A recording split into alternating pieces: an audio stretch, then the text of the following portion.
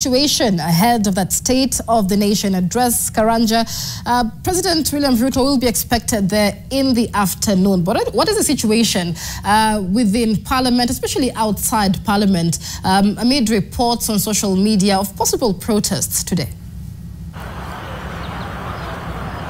Well, Michelle, we are coming to you from Parliament buildings, and uh, this is where the action will be happening later today in the afternoon when President William Ruto comes in to make his State of the Nation address and uh, inform the country where we are in as many fronts as he possibly can. Speak about the economy, uh, speak about national security, speak about uh, the rule of law uh, speak about every other critical matter uh, that uh, is as critical in the country. And uh, later at around 2.30, we expect President William Ruto here, members of parliament, will have taken their positions. I speak about members of the Senate and the National Assembly will have taken their position in the National Assembly from where the president will be addressing. Now, let us just go back in time. And at a time like this last year, when President William Ruto was making his State of the Nation address, there was one major thing that Kenyans were speaking about, and at that time, it was about the cost of living. Remember, we were fresh from the Azimio-led protests of last year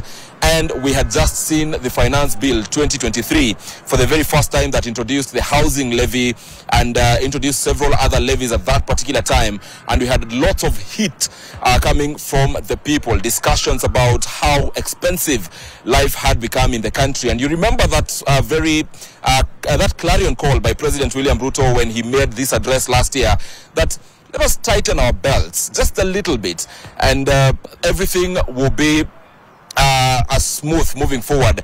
And at that time, he was saying this because of the reactions that the finance bill of 2023 was having, the housing levy and every other uh, discussion around it. Uh, he even stated that it was just a, a, price we had to pay at that particular time. So even as we prepare uh, for a better country in future, and I believe today, President William Ruto is going to speak about where the country is. We have already seen in the past couple of days indications from government that the country is doing better. Remember, there was that circular from the cabinet last week about the country being at a better position, inflation being at an all-time high, uh, or, uh, or, rather at an all-time low. And these are some of the things that the president is going to hype up today, uh, just to assure the country that everything is going as planned, as he told the country last year.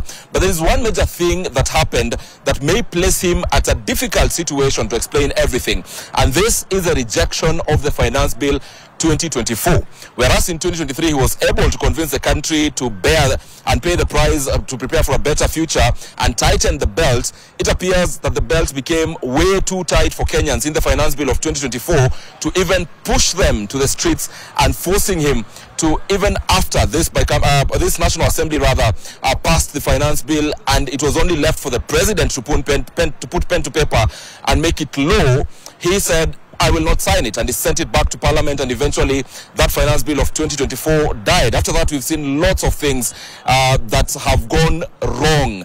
Uh, remember, it is up, and, up until, until yesterday when we had uh, sort of a solution to the stalemate between county governments and the national government in terms of allocation to counties. We have had several other things being postponed that were intended to be undertaken in the financial year 2024-2025. And these are the things that the president will now have to explain to the country, even at the back of a rejected finance bill. Uh, even as more people are speaking about new tax measures or new, a new tax bill coming uh, into parliament, which we shall be breaking down later when we speak to various members of parliament to understand. But one major thing also that the president is coming to parliament and perhaps, let me say, may have caught him by surprise and he may be forced to speak about is the privatization issue of various uh, government uh, uh assets. I speak about the Jomo Kenyatta International Airport. There has been that conversation about uh, handing it over to the Adani uh, group of companies just to, to ensure that it is better managed according to what government is saying. But it is this morning, Michelle, that we got information that in the US, uh, the same Adani has been indicted. And this uh, is one thing we'd want to see where it places the president as he comes to address the country. He will be coming to address the country, perhaps trying to convince us about why we should allow such deals with this uh, public-private partnership deals work. Yet at the same time, he'll be coming to address the country hours after the US, a US, a US court indicted one of the people who uh, have not only taken the airport but are also uh, intended uh, to take several other government assets and run it in, in private public partnership. They say that it is because government does not have money, these private investors have the money required so they can put in the development that is required. For instance, in the JKIA, you've seen the discussions that are ongoing about putting up a whole entire runway which people want to have, yet in the deals, uh, these things are not there. So the president will really have to convince the country about this. Another thorn in the flesh of the country, which President William Ruto uh, I, I expect will not avoid speaking about is the rule of law and especially matters human rights. It is only yesterday or uh, yesterday when news broke out about the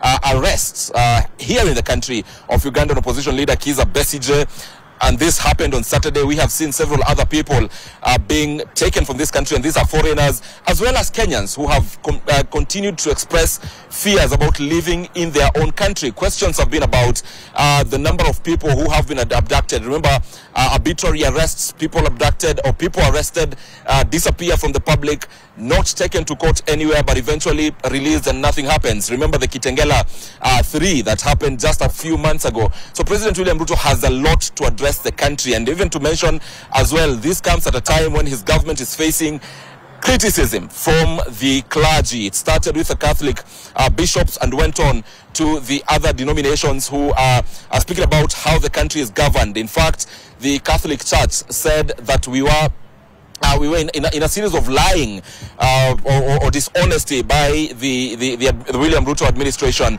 So quite a very uh, unpopular uh, background that President William Ruto is coming to Parliament with. However, on a positive, whereas he may have lost uh, or he may not be having favorable comments from Kenyans, from a section of the clergy, he comes to a house that is almost fully aligned to him. And I'm speaking about this because of the broad based government that, in effect, literally brought the uh, Azimio side, especially the ODM side, to walk the same uh, path and uh, read from the same script with the Kenya Kwanza side. So President William Ruto, whereas last year he came in to address an, a national assembly that was divided in terms of Kenya Kwanza and the Azimio la Umoja Kenya Kwanza, uh, One Kenya coalition, today he comes to a parliament that has a bigger number supporting him. Speak about all the UDM members of parliament. Speak about uh, ODM members of parliament, most of them. He will only be having pockets of members of parliament, perhaps, who do not agree with him. And I speak about perhaps members of parliament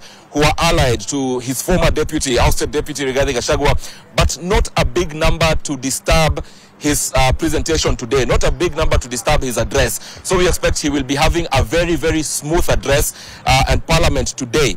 And we will also be seeking to hear from members of parliament in terms of what exactly are they is their position in terms of where the country is. Remember last year, as we headed to the state of the nation, we had some uh, vocal members of parliament uh, talk about Nairobi Senator Edwin Sifuna, who declared that he will not be attending that particular session because, in his own words, he could not listen to lies, and uh, he felt that if he attended that particular session, then the president lies. He would not control himself and may shout him down. So he chose not to attend. Will he attend today's session? If he does attend today's session, what will he have to say uh, to the country? What will other members of parliament who are a bit skeptical of the William Ruto administration last year, this uh, same time last year, say today, especially about where the country is? These are some of the things that we shall be discussing with uh, the members of parliament, but even outside parliament, if we go beyond what the president is expected to say, is the atmosphere around parliament. This is a very important thing because there has been uh, there have been conversations online about occupying parliament today. Today, President William Ruto will be addressing, and those not happy about his administration are saying, and this is from social media, that they will be protesting and they're using the very famous words of Occupy Parliament. We say Occupy Parliament to remember the days of June, especially June 25th, when they breached security here and entered into Parliament. So it is obvious from this particular uh, expectations and this particular uh, calls of protests that there are lots of police officers around Parliament. When we were coming in from the Nation Centre, we saw a contingent of GSU officers around KICC. I believe getting a brief, you could only see the red beret uh, all through the KICC compound. Some police officers are already uh, on patrol in town, and here around Parliament, there are several other police officers in anti-riot gear. So perhaps ex expecting uh, anything from the people who are expressing dissatisfaction from the President William Ruto uh, administration. They do not want to take any chance. They, uh, this particular threats happened in June. Uh, chances were taken and eventually there was a breach into parliament. That was on the 25th of June. So any threat to occupy parliament right now in terms of a protest is being taken uh, with with in, in, in uh, with better preparations from the security officers here. You saw that statement from police spokesperson Dr. Uh, Dr. Uh, Resila, who spoke about uh, what the police are saying and telling the people to continue uh, with their businesses and urging anyone who might have intended to cause chaos not to do that and ins insisting that police officers then will be on ground to ensure that everything is uh, goes as planned and law and order is maintained. Indeed, I can confirm that that from around Parliament and from the routes that I have I have used to come to Parliament is happening. Lots of police officers but then again, politically speaking, our political pundits may start to discuss then what does this mean for a President William Ruto, a head of state, who is addressing the country at a time when the entire parliament is cordoned off. That is something for discussion, and uh, we will be seeing how this pans out. Uh, what does it speak about President William Ruto's uh, leadership at this particular time? Uh, whereas perhaps last year there was not this much of, uh, of, of, of, of security officers around Parliament and around the Nairobi CBD to ensure that persons who are not allowed to access Parliament do not access Parliament. So yes, we are keeping our eyes uh, into what will be happening here. Later on when the president comes, I am with my colleague David Mudoka who will be uh, roving around parliament to speak to those members of parliament and bring you up to speed with everything. Immediately we get the address by the head of state, we shall also break it down for you in terms of what does it mean. But bottom line, Michelle, is we expect a President William Ruto who will be coming here to insist that, that his government has performed, that inflation is at an all-time low, that the country is better economically. That we can take to the bank. All right, that is uh, Ibrahim Karanja, senior reporter live for us from Parliament, ahead of that State of the Nation address by President William Ruto. Karanja reporting a lot of security outside the Parliament buildings ahead of that State of the Nation address. And here with us in studio, um, a panel of guests to explore some of the key issues likely to dominate that address by President William Ruto, as well as the expectations of Kenyans, the scorecard of the Kenya Kwanza administration. And a lot has happened since the last State of the Nation address by President William Ruto. Uh, within the last year, President William Ruto promised that Parliament would fast track